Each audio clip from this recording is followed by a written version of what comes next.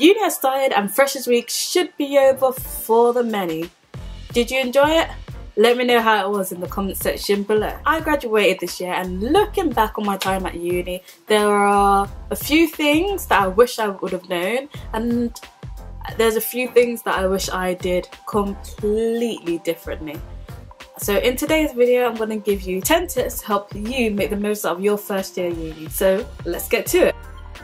This is probably the first time your bank account has seen so much money all at one go and the temptation to upgrade your wardrobe, buy lots of high quality makeup, eat gourmet foods, drink alcohol, go out all the time is really, really, really strong. Try your hardest to resist the urge to spend it all, save a bit, and you'll thank yourself later. Only way to make friends with someone is literally go up to them and say hello and take from them turn up. They're actually quite useful and they get you out of the house. At the start of the year, they recommend that you need to buy every book under the sun, and you're just like, yeah, I'll do it. And when you when you go to the store back calls as they suggest, you'll find that the books total to £600. Don't buy it! Don't fall into that trap like I did. The library will always have your books always always always have your books and even if they don't like buy them second hand for cheaper or you can also buy previous editions. Do it when you get it, you won't fall behind.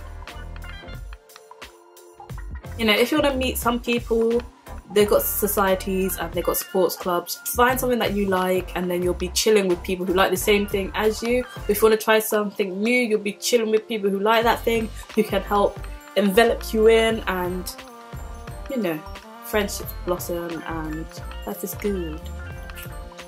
Life is good. If you like partying, go for it. They're probably like one of the best things ever.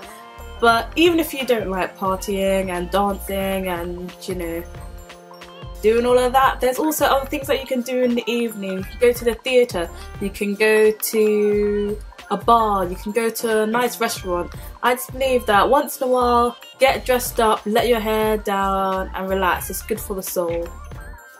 If you drink, that's fine, but just make sure you know what your limit is. You do not want to be that friend that has to be babysitted every time you go out. Once in a while, I guess it's fine, you know, you only live once, you're, you're not perfect, you're gonna have that slip up. But if that is something you're gonna do every night, just don't be that person. It's not nice to look after you. It's not nice to worry about you. And I'm pretty sure you don't feel great being in that situation either. So don't do it. I say make the most of your summers, whether it's internships, work experience, you're going on Camp America, you're working or something. Just do something in your summer. I don't know, you might find something that you really really love that's unrelated to your course that you might want to go into and then because you've got that experience it's just like hey or you might go to like Camp America and find out you love America, you love kids, you want to be a teacher even though you are studying astrophysics. I don't know. And a final tip is make the most of your time there whether you're doing it for three years, four years, five years, whatever, because you're gonna miss it when it's gone. That part of your life is just so amazing, so spectacular, and just so enriching and it makes you kind of who you are and all those cliches, etc. etc. Just make the most of it and embrace it and enjoy it and love it and you'll be fine. You don't want to be like, I wish I had. You want to be like, I'm glad I did.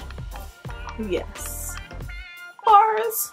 Man's got bars for days. So that's it. Let me know what other tips you have in the comment section below. So that's two things you guys need to let me know in the comment section below.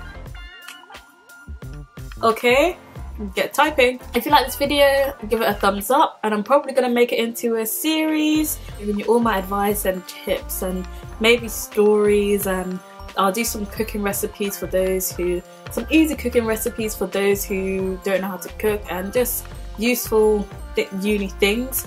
So if you want to know more about that, I suggest you subscribe so you don't miss any of it.